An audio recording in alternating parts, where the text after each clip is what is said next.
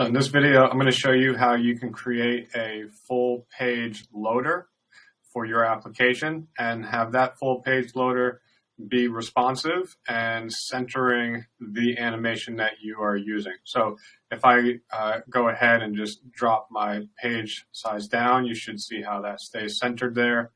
And then if I am taking my page height and bringing that up, you can see how it's staying centered. So a completely centered full page loader. I am using a Lottie files animation here. I have other video that is focused on how do you use Lottie animation. So we are not going to be focusing on that. You can go ahead and check out the other video to get the information on how you can get access to Lottie files and use them inside of your Bubble app. And we are focusing on this with the new responsive engine by Bubble. I was pretty excited to be able to see that this does work. There are a few drawbacks at the moment because it doesn't do or give me the sort of flexibility I really wanted from it. But at the very least, we get to have a completely centered full page loader. And I'm going to show you how you can do that. Okay, so inside of your Bubble app, you're going to go ahead and start off by creating a reusable edit element. So add a new reusable element. I'm going to just go ahead and label this and let's make sure I've got an ER so I know what it is. I'm going to go ahead and press create. All right, so now that I've got this, I do need to go in and check off the upgrade to new responsive. And then once that is done loaded up, I will be able to set up my reusable element to work the way I need it to. So first thing that I'm going to end up doing is setting that reusable element to be a type of floating group. Uh, I will leave it floating relative to top. That's not going to really make any difference. Uh, and once I have that set up, I want to make sure that my background color would be matching the color of my app in the event that I want it to be something different than just white. Uh, so make sure you choose your color on the element there. In the layout here, the layout is actually going to be aligned to parent because I want to make use of the nonce as Bubble is referring to these uh, to be able to get it into the right position. I'm going to just put the, the width at 300 here and I'm going to leave the min width at zero and here as well with the min height, I'm going to put it at zero. Okay, so I at this moment it's a little bit jarring to see like that I don't have anything and it seems like everything's collapsed on on itself. Uh, what I will be needing to do is to add into here an HTML element. So I'm going to go ahead and just find the HTML element and let me just draw it out.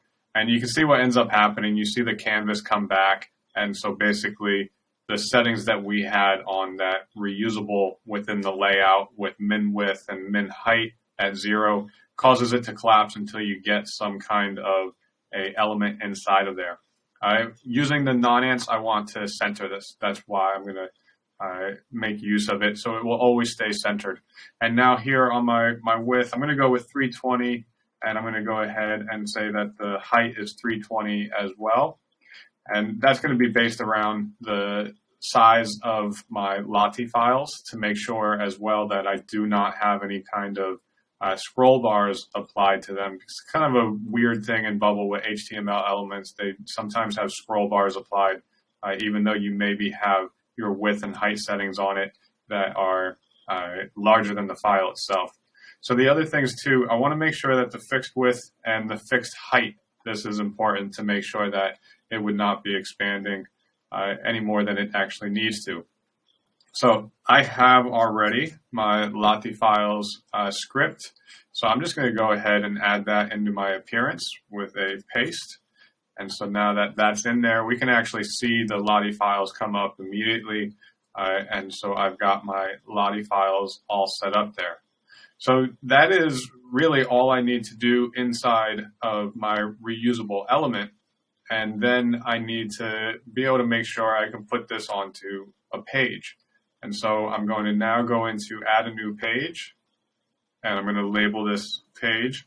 So let's go ahead and say loader live test and let's create that page. Again, I'm going to have to come in and uh, set my responsive to be using the new uh, responsive engine. And once I have that uh, set up, I'm going to need to get my, my page layout put together. And I want my page layout to be of a type column. And so once I have this ready for it, layout is going to be a column. And that's just because I'm going to end up expecting for other elements that I may add to the page to need the custom, or sorry, the column. Um, and so that's why I'm choosing that. It really doesn't have much to do with this full page loader. And then I'm going to put my width of 1200 and a height of 600 just to have that space to work with. So once I have that set up on the page itself, I just need to drop in there my full page loader. So I'm going to quick type in for loader and I'm going to get the loader live. I'll just click onto the uh, canvas and let it get in there. It's kind of strange in this new responsive engine. It takes quite a while for your reusable elements to kind of show up on the page after you've clicked on the page to draw it. Uh, but it is what it is. Uh, so at this point now, I need to adjust the actual reusable element itself. And it does come through as a floating group. And so in the appearance here, we can see these sort of floating group controls. I need to focus though on the layout. And first thing I'm going to do is change these to percentage and I'm going to make them 100%. And so now that they are 100%, you can see how that kind of drops down to fill up the space that is available to that element now.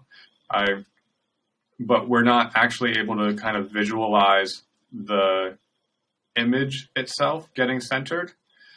But that's just an issue that I've been experiencing with this new responsive engine. It does not really render things very well, especially when those elements are inside of reusables and you're viewing the page where the reusable is actually placed. So maybe it's something we're going to have to get used to, or maybe Bubble will be seeing it as a bug and, and try to resolve that for us. So otherwise, I've got my max width set to infinity and max height set to infinity. So that's all I need to do here. I, so right now, I should be all set to preview this page and see how it renders when it is uh, brought into the preview mode.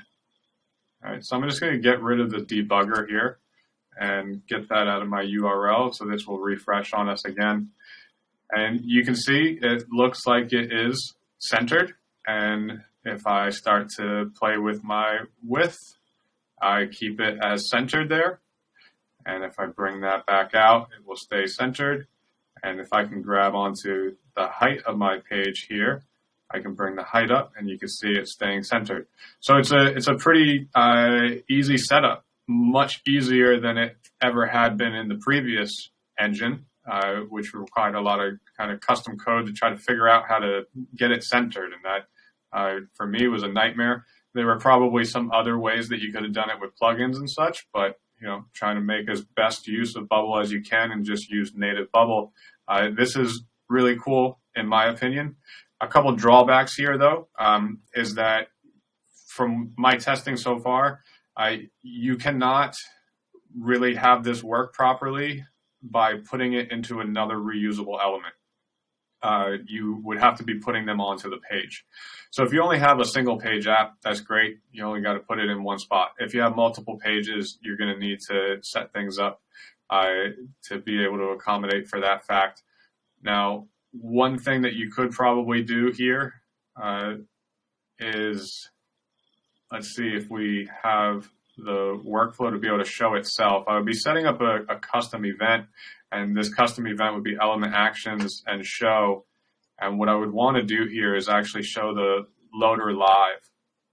So what this is, is something that Bubble will allow you from the page that you put the uh, loader onto to actually have this custom trigger available to you from the page.